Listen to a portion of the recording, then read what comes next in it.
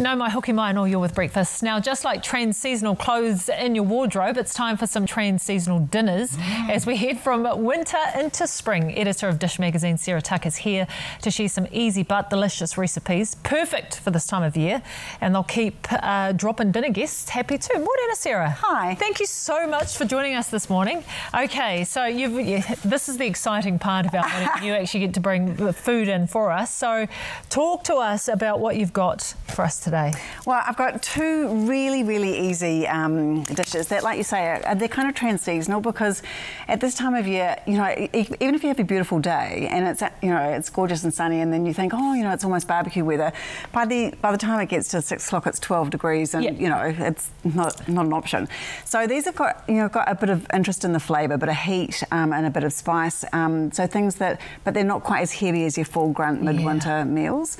Um, and the, this chicken sambal um, was going nuts on our um, website the other day because it is so easy and it's got just a couple of ingredients. So in that one, all you do is mix together some coconut cream, or if you're you know watching the calories, some coconut milk. Um, so coconut cream, garlic, ginger, brown sugar, lime juice, and sambal oelek, which is like an Indonesian chili paste.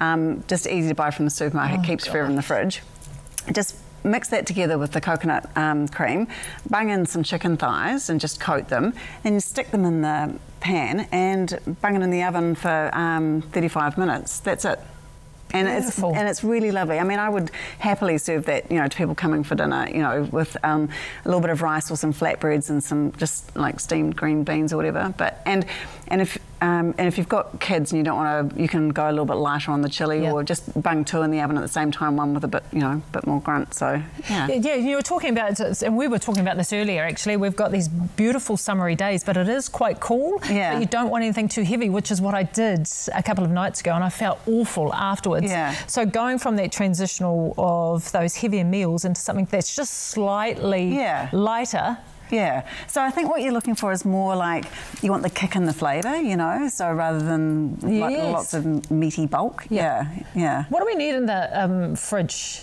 to, well, and in the pantry to make sure that we've got everything on board? Oh, if look, you want to throw something together, or as you say, bung it together. Yeah, yeah, yeah. I mean, um, chili flakes are like one of the best things in the entire universe because you can stick them into anything and it mm. just gives it a little bit more um, heat. You know, so it's like um, ginger, chili, garlic, um, lemon or lime you know, and those are kind of like the fundaments. And then the other thing too is not to underseason, you know, like um, I think we get a bit paranoid about the whole salt thing. Um, but if you're making your own food and it's not like pre-purchased, so it's yeah. not already got salt in it, it does need a little bit of salt to, to really amp the flavour up. And the trick with adding salt, and I haven't even got to my vegetable thing oh, yet, no, but um, another, yeah. the trick with adding salt is, is to do it while you're cooking rather than at the end, because otherwise you just taste the salt um, specifically at the, yeah. at the top, whereas if you add it while you're cooking, it kind of just, you know, brings out the flavour of the food. Yeah. Okay, in 30 seconds. Okay, oh, 30 seconds. Oh, that's lentils, um, which I used to think tasted like um, eating sawdust. These are not like that. Um, this is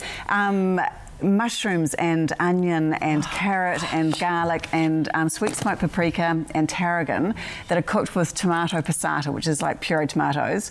Um, and then you stir through lentils, make some kumara mash with goat's cheese, stick Love it on the top, it. bit of parmesan, a couple of knobs of butter, chuck it in the oven, 20 minutes, and it's all in here? Yep. In your dish magazine? Yeah, absolutely. Love so, it. Yeah, those are all in there and um, also on the website. But this has also got a great food fast section in it, which is so all your ones for after work um, are in food fast. It's in every issue. So, um, and it's always got the same background. So if you go to the blue background, Beautiful. you know you're in food fast. And I'm also looking forward to trying out the meatloaf as well. So, yeah. amazing as always to have you in with us. Uh,